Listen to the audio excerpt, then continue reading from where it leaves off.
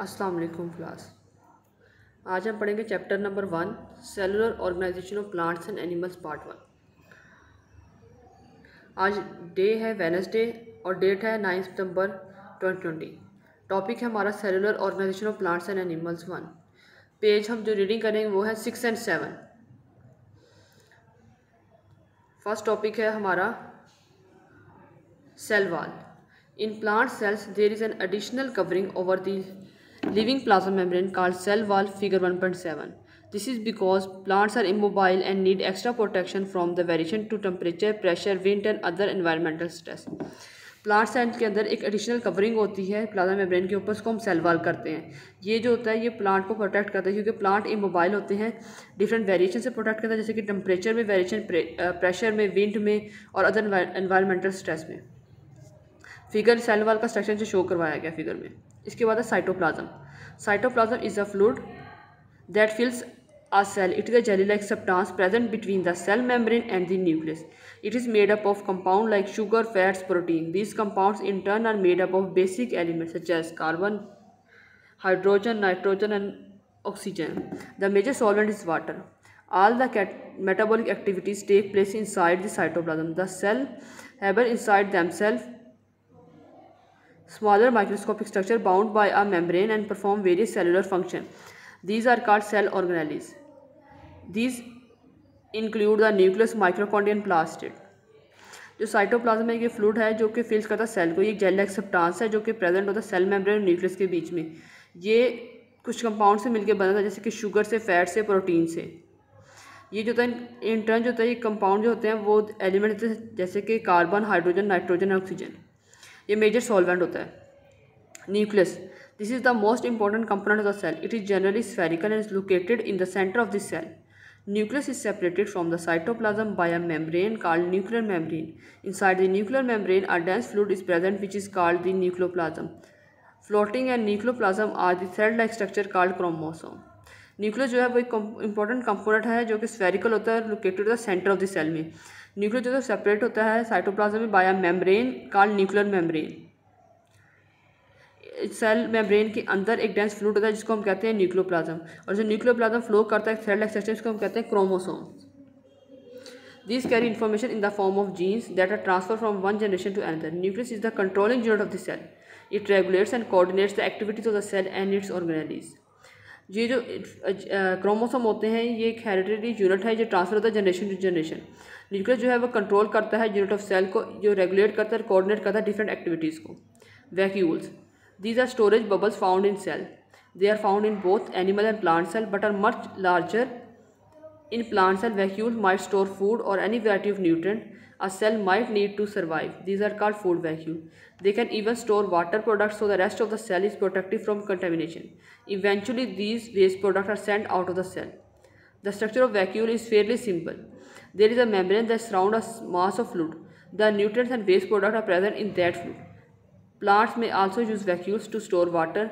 Those tiny organ bags help to support the plant. जो vacuole है वो storage bubble है जो कि सेल में पाया जाता है ये बहुत प्लांट्स एनिमल दोनों में होता है बट मगर जो प्लांट सेल मतलब वो लार्जर होता है than the animal cell vacuole जो होता है वो फ़ूड स्टोर करता है और अदर वाइटिव न्यूट्रेंट को स्टोर करता है सर्वाइव के लिए इसको हम फ़ूड वैक्यूल्स कहते हैं ये होता है जो कि वेस्ट प्रोडक्ट को जो होता है वो प्रोटेक्ट करता है फ्रॉम कंटेमिनेशन वेस्ट प्रोडक्ट से। ये जो वेस्ट प्रोडक्ट होता है, इसको सेंड आउट करता है सेल में से। इसके अंदर टीनी बैग्स होते हैं वाटर को स्टोर करने के लिए। Chloroplast chloroplast are the food producer of the cell animal cell do not contain chloroplast they are found plant cells only the green plant convert the energy of the sun into sugar this process take place inside the chloroplast chloroplast को हम food producer भी कहते हैं cell का। ये animal cell में chloroplast होता है, वो नहीं होता। ये प्लांट सेल में पाया जाता है। ये ग्रीन पार्ट में होता है जो कन्वर्ट करता है एनर्जी ऑफ़ सन को इंटू शुगर के अंदर। The purpose of the chloroplast is to make sugar and starch this is done with the help of process called photosynthesis photosynthesis are the process by which plant take energy from the sun and synthesise sugar using chloroplast chlorophyll use solar energy to combine sugar carbon dioxide and water to produce sugar and oxygen is release by as a by product than we inhale the plants animals then sugar glucose for food and energy carbon dioxide plus water reaction sunlight glucose plus oxygen ये जो chloroplast होता है, ये कि sugar और starch बताता है, ये किसकी मदद से होता है? एक प्रोसेस कहते हैं फोटोसेंसिस फोटोसेंसिस में जो प्लांट होता है, वो एनर्जी लेता है सन से और सेंसाइज करता है शुगर को क्लोरोफिल की मदद से। क्लोरोफिल जो है, वो सोलर एनर्जी को कन्वर्ट करता है शुगर और कार्बन डाइऑक्साइड में रिलीज़ करता है, जिसको हम इनहेल करते हैं। Mitochondria mitochondria membrane enclose organelle distributed the cytoplasm of the cell all cell need energy to perform their cell activities. This energy is derived from the food. The food needs to be broken down to release energy. Mitochondria is called power of the cell. Mitochondria acid oxidize sugar in the presence of oxygen to release carbon dioxide and energy. Glucose plus oxygen reaction carbon dioxide plus energy mitochondria को power of the cell भी कहते हैं क्योंकि ये oxidise करता है sugar को in the presence of oxygen और रिलीज़ करता है कार्बन डाइऑक्साइड को और एनर्जी को। ये एक मेम्ब्रेन है जो इनक्लोज होती है साइटोप्लाज्म के अंदर। नेक्स्ट अब हम करेंगे fill in the blanks the cell has three important components they are dash cell के तीन इंपॉर्टेंट कंपोनेंट्स कौन कौन से हैं? Cell membrane, cytoplasm and nucleus. Second fill in the blank. Dash are long thread like structure present in the nucleus.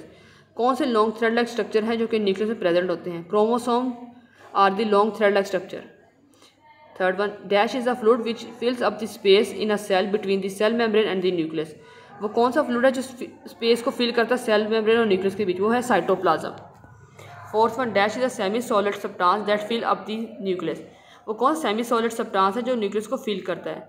वो है nucleoplasm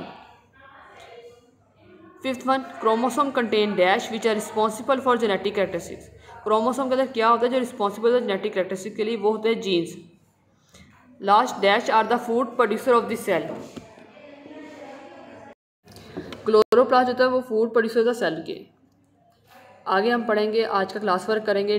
day है Wednesday date है नाइन्थ में ट्वेंटी ट्वेंटी पेज नंबर है thirteen cellular organization of plants and animals, part 1 answer these question in a sentence question number five what is the role of xylem fibres xylem fibre का role क्या है? Answer xylem fibres conduct water and dissolve minerals xylem fibre जो होता है water को conduct करता है dissolve करता है मिनरल्स को। ये आज का हमारा क्लास वर्क है। सेम इस तरीके से हम अपना होमवर्क करेंगे। डेट एंड डे ऊपर मेंशन है। पेज नंबर थर्टीन है। Topic cellular organisation of plants and animals है। ये हमारा होमवर्क है। ये हम नोटबुक से करेंगे। आज की डायरी है। Test of questions one two five part B आज हम टेस्ट लेंगे। कल हमारा टेस्ट होगा question number one two five का पार्ट बी का। थैंक यू अल्लाह हाफिज़।